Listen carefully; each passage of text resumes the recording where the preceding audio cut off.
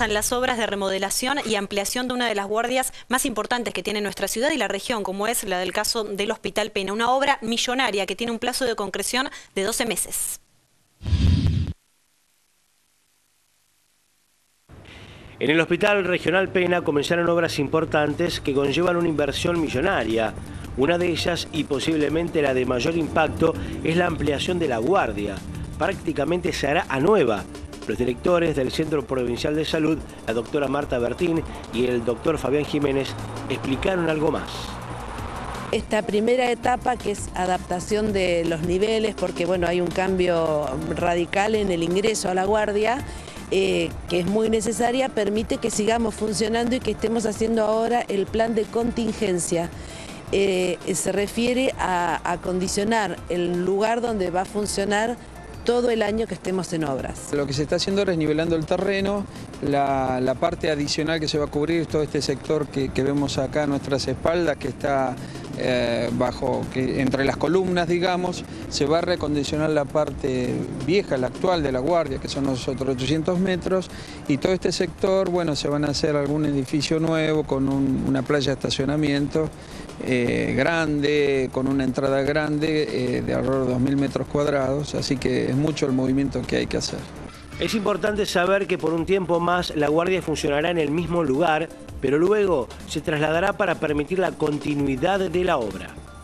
Claramente tenemos que seguir trabajando, así que estamos ahora en reacondicionar hay que trasladar desde el shock room, los consultorios, las camas de internación, absolutamente todo, porque esto nos va a permitir, en la medida que desocupemos este lugar, que la obra se pueda realizar en el plazo estimado que es 12 meses. Todo este mes se va a atender acá y probablemente casi la mitad del próximo mes se va a seguir atendiendo por el mismo lugar, la misma entrada, todo igual. Cuando se haga el cambio de lugar nos vamos a ocupar de hacer amplia difusión. Hablamos de una obra clave y de una fuerte inversión, más de 100 millones de pesos, cifra que había sido anunciada el año anterior y que ahora se concreta. Para la Guardia el dinero no solo está destinado a la estructura, sino al equipamiento. Son de alrededor de 50 millones de pesos, de los cuales unos 35 millones es para la obra en sí, pero también va a venir equipado con toda la tecnología, así que son el, otro dinero adicional, lo cual está bueno porque no es solamente que se hace la cáscara y ya está, sino que va a venir bien equipado y eso nos va a posibilitar, además de tener un hospital con una guardia de, acuerdo a este año, al 2017, pero que tenga también con los últimos adelantos para la mejor atención y también seguridad de los compañeros que trabajan en la guardia. Pero además de la guardia, la otra mitad de la inversión es para el sistema sanitario del gigantesco hospital. Nosotros en agosto del año pasado comenzamos la obra de sanitarios de internación. Hubo que hacer varias readecuaciones para poder abarcar todos los sanitarios, que son 96.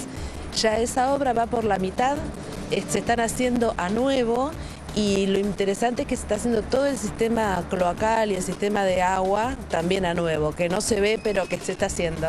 También estamos en la climatización de quirófano, que hace dos meses que tenemos la mitad de los quirófanos cerrados, y también eh, avanzando en tiempo y forma, que es lo importante.